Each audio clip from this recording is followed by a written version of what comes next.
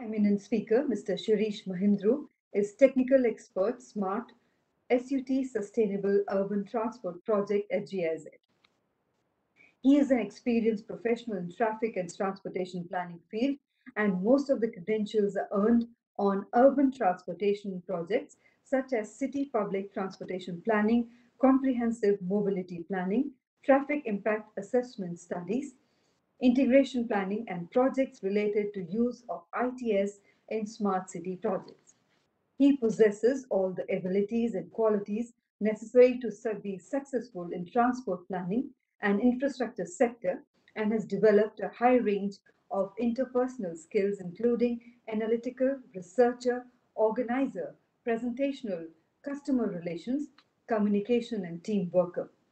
He has a strong ability to communicate on many levels effectively as part of a multi-stakeholder focus role. And a very warm welcome to you, sir, for your presentation.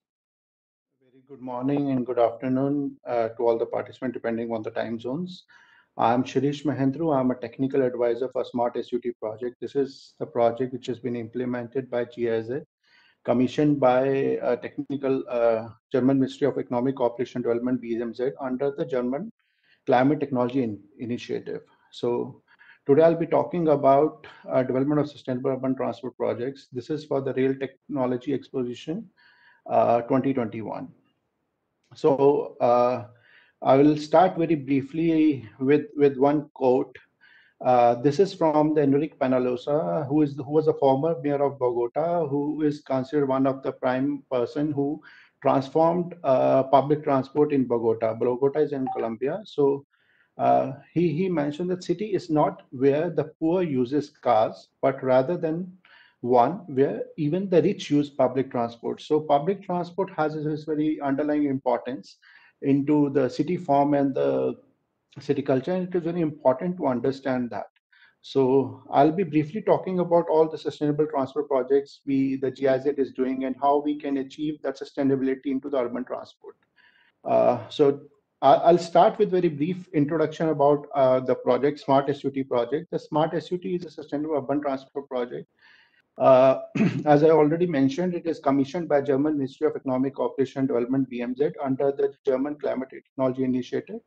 And the basic objective is to planning and implementation of sustainable transport projects in Indian selected Indian cities. So we have identified three Indian cities through uh, this has been implemented. This is jointly being implemented by the GIZ and, and the Ministry of Housing and Urban Affairs. So three cities, uh, Kochi, Bhubaneswar, and Coimbatore has been identified in the states of Kerala, Tamil Nadu, and Odisha. And we also have certain projects at the national level. So the project, complete project duration is from August 2017 to December 2021. So next I'll explain about the various activities, the key support areas uh, where we are supporting our partner cities uh, and, and, and also at the national levels. We are talking, we are supporting our cities at the regarding ITS and data analytics, non-motorized transportation, capacity development and institutional strengthening, peer learning and knowledge exchange. This being very paramount to understand uh, for the institutional strengthening of any any of the organization or any of the partner agency. UMTA being the urban uh, urban metropolitan transport authority, unified Trans metropolitan transport authority. Then we have the public transport improvements. We also talking about GHG emissions, road safety, clean and alternative fuels. Recently, very recently, we started uh, discussions and we are supporting state of Kerala for hydrogen-based fuel cell buses for, for the intercity travel between Kochi and Trivandrum. And we also have certain projects where we are supporting our partner cities about the electric mobility and we, some of the research projects also happening on multimodal transport. So, so these are the some of the activities which are happening at the national level. uh, very first thing is the National Capacity Building Framework. Under this, uh, this is housed at the Ministry of Housing and Urban Affairs. Uh, there are around 28 part participants from different states. Indian states are, are participating. They are they there are active learning and the actual learning courses they are undertaking. And at the end of the uh, at the during the during this uh, capacity learning program, they'll have the one action learning project. They undertake one project about the sustainable transport, and they'll execute and they try to implement and we also have the exchange program under this under this we, we if if the all the covid regulations and the covid protocols allowed we'll take them to the germany also to to have one one-on-one interaction with the best practices and the good practices happening across uh, Germany. So, and the second of the projects are the training need assessment for e-buses. This is like the what are the kind of trainings and the modules and the learnings required for for adoption of e-buses in India. And uh, few of the similar other projects like mobility as a service. This is for the integration of all the modes and to make a, and to develop a framework for the specific guidelines for the mobility as a service into urban transportation systems. We also have a, a, few studies done on public bike sharing, and then we have a national international exposure visits for the various partner agencies and the officials of the uh, partner agencies to have the understanding of the best practices happening in, in within India and across the world. And we are also the knowledge partners for the Urban Mobility India Conference. This is one of the largest uh, urban transport event happening every happens every year in India, and this time it is happening in Kochi. So I'll very briefly touch upon all the state activities and the city activities we're doing in Kerala. Uh, we are supporting uh, Kochi Municipal Corporation for shared e-autos as the first mile and the last mile. We are we are giving a seed funding to the Kochi Municipal Corporation for 80 for for 80 e-autos that will help in uh, in, in enhancing the first and the last mile connectivity. We also design redesigning the arterial roads from the viewpoint of the pedestrians and the uh, and, and, and the active mobility. So gender study is one of the important study. We are also taking it up. Uh, this is to understand the issues being challenging faced by the women while traveling into transport and how we can overcome and how we can make the uh, travel safer for gender, uh, women and, and, and, and, different genders. Another important thing that very recently Kochi Metropolitan Transport Authority has been institutionalized and constituted in uh, Kerala in Kochi. So we are supporting them with the with the, the UTF sources and also for identifying for the complete institutionalization strengthening and the capacity development of the KMTA. There are other exercises, for example, this we are doing for route rationalization and uh, study. This is to enhance the public transport, city bus, city bus transport system in Trivandrum, and we are doing this similar activity also for the Coimbatore. Under this activity, we're also going to have one uh, one data tool, which will be open source based, which will help in uh, doing the data analytics at the uh, at the more efficient level and, and helps in uh, eradicating the the use of physical surveys for because these are very cost intensive and and and and and, and it comes at a heavy price for the for for any for any public transport agencies. Uh, similarly, we did uh, we are doing some activities at the uh, in Bhubaneswar in Odisha. For example, data analytics tool for city bus system. We're also preparing one carbon, low carbon mobility plan. This is to uh, this is a vision document which will help us in lowering the GHG emissions. We have some parking policies and traffic management plan for the local roads. And uh, one of the major exercise, one of the major support we are giving to Capital Region Urban Transport is a newly organized, newly formed, uh, newly formed uh, public uh, public transport company under the uh, managed by the government of Odisha. And there we are doing a complete hand holding. There are around 200 buses, and they with with, with the support from GIZ and and and their and the institutional strengthening, they have they have a pre-COVID they have achieved from with with 200 plus buses they achieved one lakh plus ridership. And some of the policy-oriented research at state level is happening at electric mobility and parking area management plan. This is we're doing at the, all three states. So few of the activities are similar activities at Coimbatore is non-motorization plan. Uh, we are doing the important exercise we are uh, we are supporting is the safe school presence for Coimbatore. This is we are identifying the network of schools where we can provide the uh, safe active mobility for for for all the students and and and, and the school goers. And similarly, the organization and capacity assessment. So from all this uh, understanding and from our experience, the very important thing and to underline experience is uh, for any sustainable project, uh, the right right capacity enhancing the capacities of the uh, any of the local agencies, the partner agencies is very important. This is this is very important in imparting uh, uh, enhancing capacities at all levels, local level, state level, and even at the national level. So strengthening of the institutions, the hand-holding is very important to understand the issues and challenges and how we can overcome and how we can uh, reduce our reliance on the conventional sources of fuels and, and, and, and increase and start, start innovating in terms of the sustainable transports and in also in terms of the innovative and the clean fuels. So we'll we'll be keeping we'll start keeping uh, talking about on, on the on that lines. So so very briefly, uh, what was the transportation system in the past? Uh, I think uh, four decades or five decades down the line, the cities were used to be very compact.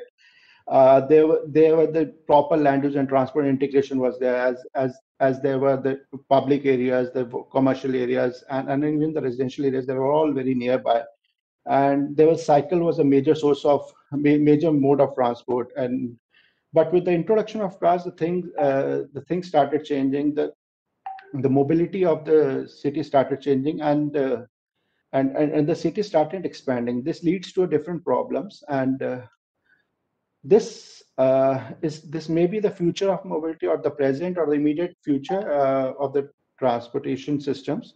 There, we we should have the proper integration between the different modes. We should have a equitable uh, road space for every every user for every mode we should have a definite space from uh, cycling, walking, and, and then the proper transitions between the interchanges between from one mode to different modes and, and to the last mile and the first mile. So integration of all the services is very important in this. And uh, okay, so so what uh, now we will uh, try to discuss about uh, what what constitutes a sustainable transport. What exactly we is, is a sustainable transport all about? So, sustainable transport is the one which helps in reducing the social impact, environmental impact, the climatic impact, and the economical impact on the overall ecosystem if we if we talk about the social impact the social impact means it it, it helps in uh, when we, we when we have less roads when we have less cars it leads to the less road crashes. And this helps in reducing travel times. When we have an efficient public transport system this helps in reducing the travel times. This also reduces social vulnerability and out of pocket expenses. There will be less out of pocket expenses. People have more people will be having more time for themselves and their families. And this also leads to the inclusive growth Environmental impact, we all know we have increasing pollution levels. Everybody has seen the case of Delhi where the pollution levels have increased increased so much that it is very difficult to breathe. And we, we have to increase our reliance on the renewable energy sources and alternative fuel technologies, hydrogen, green hydrogen, or the electric mobility. Electric mobility also depends on the renewable sources. So climatic impact is we have to reduce the carbon emission, carbon emissions, rise in temperature because with the Paris Agreement, there's a one point we have to keep the temperature within 1.5 degrees. So it is important in that aspect. We have to reduce the dependence on fossil fuels, less carbon dioxide emissions. Similarly, economic impact is we need to have the equitable road space for every everybody. There should be a space for the uh, equivalent road space for cycles, for pedestrians, for the last mile, for the first mile, for, for the buses, and we are not build, building roads uh, for the cars. Or we're not our, our approach should be uh, it should not be the city's approach and planning should not be the car centric. This should be the people centric. We should keep the people at the center and then plan and, and then keeps planning about it. It's not about the keeping the cars at the center and then making more wider road this will not lead to anywhere.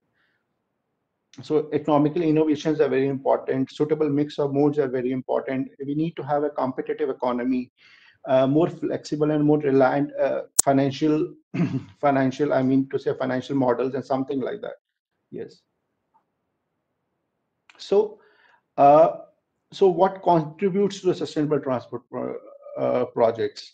There are different elements of sustainable transport projects. Sustainable transport projects uh, uh, we we have to talk about at all levels. We have to talk about the multimodal integration because in, in many of the big Indian cities, there, there, there may be a piecemeal approach, there may be a standalone uh, planning or, or, understanding happening around the cities where they, if the, the metro is coming, that they, they, we have the network of metro, but there, there's no integration between the other mode city bus services. And if we have the integration of the complete BRT system, we need to have uh, the first mile and the last mile. So what according to general understanding and what i also strongly believe into the hierarchy of modes is, is pedestrians needs to be have the first priority followed by cycles. And then within two and three we, we can have uh, ipt intermediate paratransit services that is autos electric autos or something like that micro mobility. And then we can have the transit services and pick and drop and least uh, it should be the park and ride giving the more parking spaces and and things like that. So for for for undertaking any kind of integration multimodal integration uh, we need to have certain uh, there are five parameters of it. And we also had uh, within giz also we are uh, we with the support of uh, school of uh, center for policy and, and technology CEP, we are developing a multimodal multimodal integration tool which will help in understanding the maturity of the uh, maturity of the public transport system in any city. So there are different five parameters or elements. One is the network and the service integration. How effective are the planning of routes and, and the services within the city? How are the service headways are there and how accessible are those uh, routes and how accessible is a complete network of the public transport system? There is an equal importance of the physical integration as well how proximity of the transit sports uh, stops are there? How how how equally they are distributed within the whole with the whole city? It shouldn't be like that once is one stop is there and they, they, they should not be uh, homogeneously distributed. Uh, so this decreases the dependency and, and and and reliability of the public transport system. Last mile connectivity is very important as i said and accessibility within the interchange zones. We, we have the interchange zones, but they are not connected with each other. So accessibility within the interchange zones is also very important. Another important thing is the fare integration. Suppose, for example, we I, am I'm, I'm boarding one one mode, and the lighting from that mode and getting into another mode the, the, it needs to be very seamless and and and and, and very uh, less uh, problematic for for any of the riders or the users of public transport system so integration fare integrations in the form of fare technologies or the common mobility cards or, or, or the digital wallets it needs to be have that seamless integration with all with with the different modes there also we need to have the information integration. It shouldn't be like that if I'm getting out from the DMRC and the DTC, there should be the common integration between the information integration. There should be wayfinding messages. There should be proper information imparted to the all the users of the public transport system. They should be have effective customer care. They should have effective grievance redressal systems. And, and and and another important thing and the very important thing I believe is institutional integration. They need to be have the complete decision making process every every city who is every every city agency or any transport agency who is responsible for the public transport system should they should start uh, they should start sitting together and uh, start implementing the and start planning things as, as as a complete process not as a uh, not as a individual systems. So that is very important. Now uh, these days with the covid things covid times the data reliability has also increased very much because right now what is happening is uh, uh, we need to understand the travel patterns, trip behaviors of, of, of, of, all the users, and we need to constantly evolve this system. We need to constantly evolve. The planning processes is, is, is ever, ever, ever evolving process. So we need to understand we the importance of dynamic data is very important. For example, there is there is there is one uh, there is one there's a bus system in a city and if, if we have the proper gender disaggregated data with us we have the travel pattern travel behaviors of the women and we have the de uh, desire line diagrams we have the needs and and and the travel patterns of the particular the uh, of the of the women we we can plan things accordingly so data data organizational level data at organization level and also at the lowest level is very important in that perspective so uh, so the next thing we'll talk about is the first mile and the last mile connectivity. The first mile and the last mile is the first mile is is is basically and the last mile is basically from just immediate origin to the transit hub and then from the transit hub to the ultimate destination. If we have the proper connectivity between these two systems, then we'll have the proper alliance and people will start using the public transport system. For example, if I'm using a metro, if I'm using a bus system in, in any city and, and I, from my home to the bus station or from my home to the metro station, there is a there's no connectivity. So this leads to uh, this, this this could be a deterrent for for using that particular particular system. So we need to have a proper first mile last mile connectivity within the system. Uh, GIZ is supporting, for example, the GIZ is also supporting a few of the uh, few of partner cities like Bhubaneswar. We are supporting them with a 50 uh, for uh, 50 electric autos for the first mile and last mile for the city bus system uh, in Bhubaneswar and, and also to the 80 bus 80 electric autos for for the uh, that would be planned around the city bus system as well as for around the uh, the the uh, Kochi metro. So what can be done? What can the elements of enhanced connectivity is a we, we need to have the full full provision for the universal accessibility of all the interchanges. The, so it is very important to have the well-connected system uh, from this the planning should start immediately from the home to the final destination immediate origin to the in, ultimate origin to the ultimate destination. They should not be planned from uh, within, within the system i mean the, the final leg of the system. It should be planned from the final leg and uh, uh final leg to the final destination. And uh, we need to have a very good pedestrian infrastructure around so which which enhance the pedestrian movement which enhance the active mobility. Public bike sharing is very important but in indian context we also need to understand public bike sharing is also uh, is, is very important but we have to understand that public bike sharing we have to undertake the long term approach as well few of the cities have started implementing the public bike sharing scheme, but they have done it as a standalone project. So this lead to a, a, a failure or, or, or or the less uh, I, I would say the less uh, uh, they have not gained that momentum that they should have gained in, in, an actual sense. So it is very important to have a formal uh, space parking spaces for IPT, and that should be the that should also be the uh, alternate technologies we can use and we need to have equitable road space, providing equal space for pedestrians, cycling, uh, and the IPT, and, and to all the active mobility uh, modes. So public bike sharing. Public bike sharing is very important. This this has been uh, taken out from one of our recently concluded study on public bike sharing systems in India. We have done a critical evaluation of the different public bike sharing schemes happening around the city and the world, and what are the key challenges and the key takeaways we can have from this.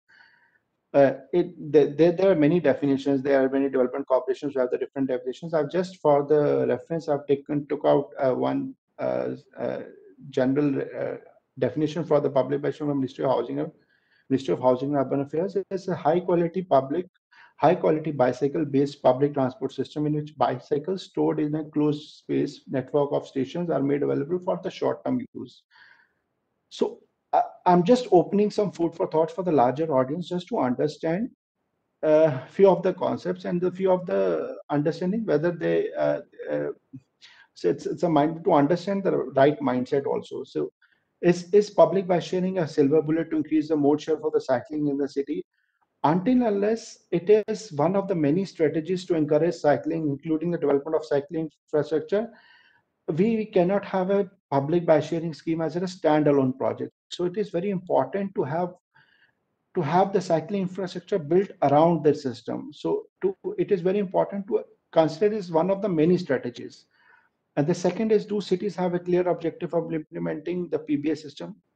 The decision for selection of uh, business models, what kind of business model, either it is a net cost model or it's a gross cost model, depending upon the kind of usage and the depending on the kind of resources available. So it is very important to have a thorough understanding about this. The system planning is very important.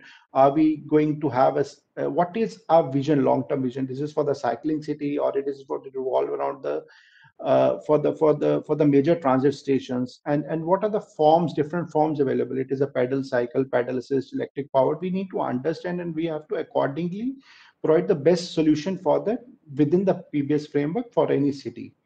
And we also need to have a right understanding of the right regulatory frameworks. Few cities are in introduce the uh, e-bikes uh, without pedal uh, within the regulatory framework. But we we need to understand and they are they though there lies an innovative mobility solution, but they need to align their choices with the intent to implement PBS. So the basic thing is to understand that the PBS will, will not, I mean, the pilot project for uh, 1000 cycles or 500 cycles will not make a wonders until unless we have a clear vision of what the uh, public bike sharing. Uh, it would be, uh, it will not, uh, we, we cannot have the desired results which we intended to. Uh, now I'm going to show a few of the studies uh, we have done and the case studies. Like for example, there are the few of the international cities like Copenhagen, Antwerp, New York, London, uh, and few of the Indian cities like Pune, Mysuru, Bangalore, and Ranchi. We did some studies. We tried to understand, and, and uh, yes, and we try to understand. For example, uh, what is bicycle? Uh, what is the number of bicycles per square kilometer, and what are the constituent trips uh, with respect to the total bicycles? For example uh, Copenhagen has around 53 bicycles per square kilometer, and and and the average uh, seven trips have been uh, uh, per cycle per day are, recorded in, in in this. For example, similarly in Bhopal, it is approximately one cycle per square kilometer in the one trip. So so the network of cycles and the network within system is, is very important. We have to have a long-term vision about it. What do we really intend to do with the public bike sharing? Uh, this is another case for the bicycles per thousand population. We see the Hangzhou, Antwerp, Copenhagen, they have 8.4 cycles per, per thousand population. Bhopal has 0.2. India in the past is was known for the cycling, uh, and but this has started slowly evading gradually, which is because introduction of a huge amount of cars and the people reliance on the private mode of transport. So we we we need to overcome that. The future what I strongly believe is the uh, the future of Indian mobility is what was the past of the Indian cities. That is the cycling and the active mobility. We need to focus more and we need to plan things accordingly. We need to have proper understanding and the proper vision for to, to implement those kind of systems and, and to implement the long-term vision. So I have just listed out few of the prevailing issues and what are the key deterrents for any public bike sharing systems in India. Uh, I'll just read out and, and uh, Indian public bike sharing systems are small scale and have a limited spatial coverage and unaffordable rates and sometimes inadequate cycling infrastructure. In few of the Indian cities, we when we were doing some research, we also find out that for even a smaller city, which was built around for an even for a smaller city where they have implemented the public bike sharing scheme, which was built around the bus system, but the problem was where there are three different vendors, and then three different vendors had the three different digital wallets. For example, I'm getting off the bus. I want to put, I want to uh, take a cycle for from that bus station to my home. I need to have a sep separate digital wallet for that particular company. So that is also very important. And this one of the major deterrents. So if I want to use from one vendor to different vendor, I need to have the third uh, digital wallet of that vendor and vice versa. So this is also one of the major deterrents. Public transport system implemented in isolation as not as a standalone and as a standalone project, not as a uh, not not as a vision and not as a long-term vision, not as a complete uh, cycling. I mean, to we need to have a proper vision for that. And generally, they do not expand beyond the pilot projects. And PBS system implementation without a long-term vision for the cycling policy. So we need to have so the key and the paramount thing is we need to have a longer term vision for implementing such kind of systems and such kind of uh, sustainable projects and the key key takeaways is let's aim for the large scale and the citywide network expansions successful pbs systems have the long term vision.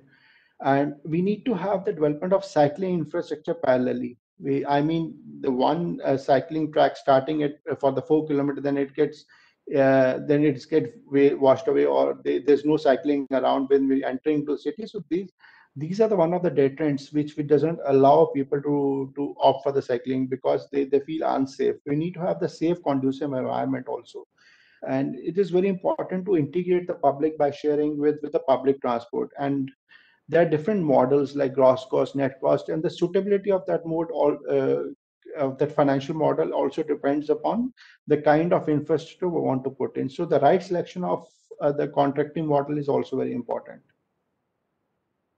So I'll, I'll after this, uh, I'll briefly talk about the transit-oriented development also. So uh, what was the need for the TOD? Why do we need transit-oriented development? When we see uh, the things in the past or the or also in the present, so there is a typical development pattern we follow in cities urban planning issues that's their typical development pattern we have uh, residential pockets we have public space pockets then we have retail and office and commercial space pockets and they are little they are little uh, they they are they they're not uh, they're not they're not merged with each other i mean they're not uh, mixed use. They they so the, this leads to different problems.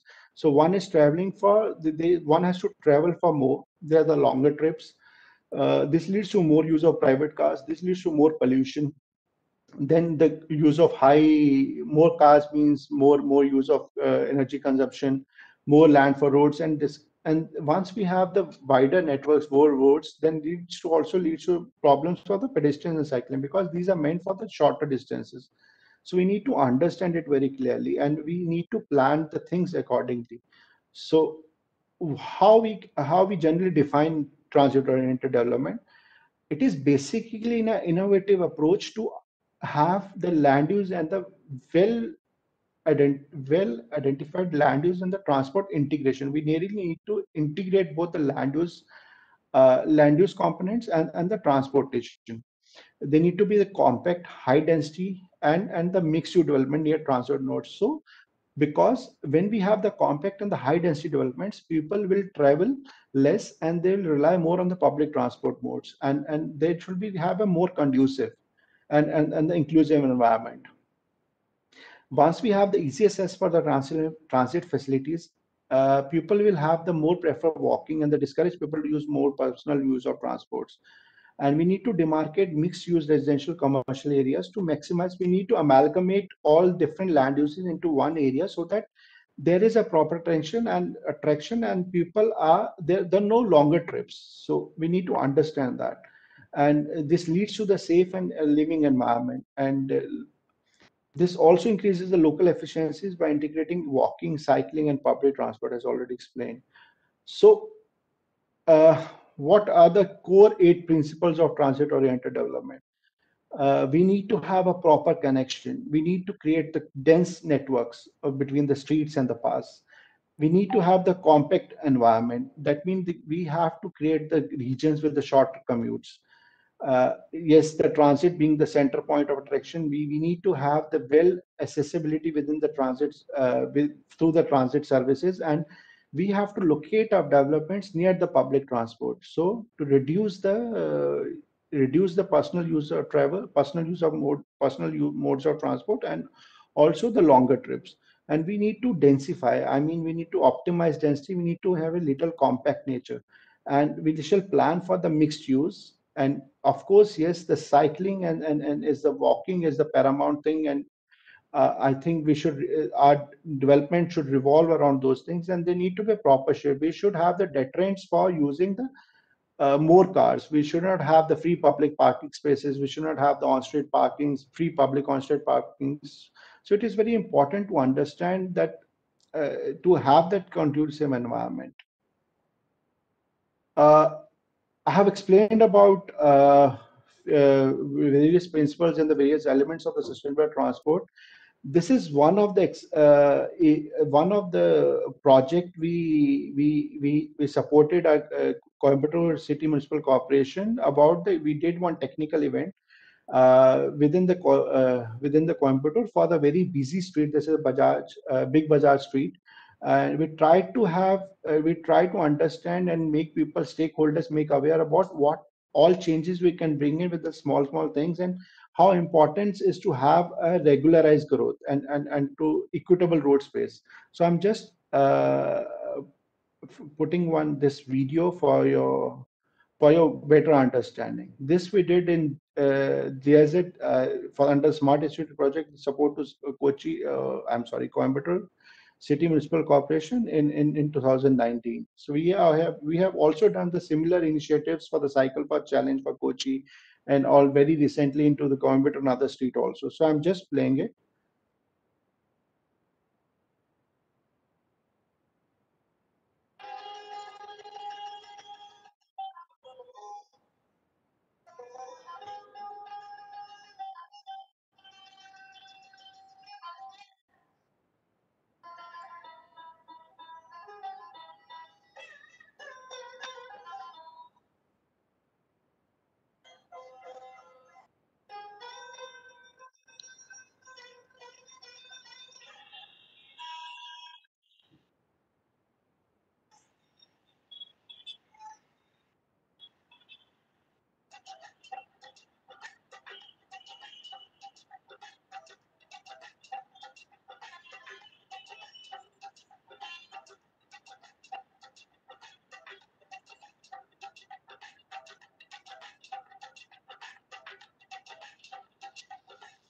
So these were the small small interventions we did.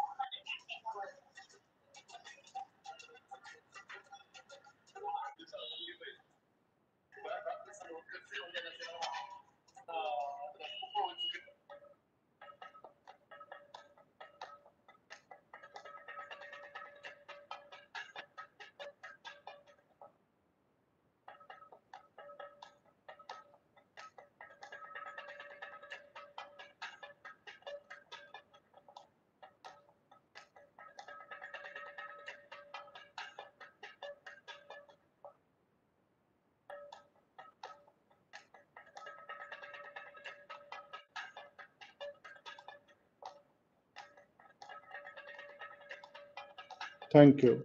So that's for my presentation and I'm open for all questions and anything. Thank you.